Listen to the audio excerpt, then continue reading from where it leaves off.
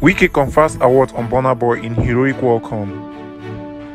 River State Governor Nyesom Wike, top government officials, artists, models, and people from all walks of life treated Burna Boy to a grand reception in Port Harcourt at the weekend.